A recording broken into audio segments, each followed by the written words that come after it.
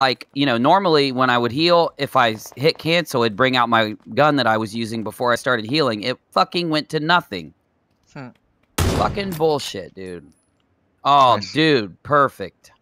Where is he?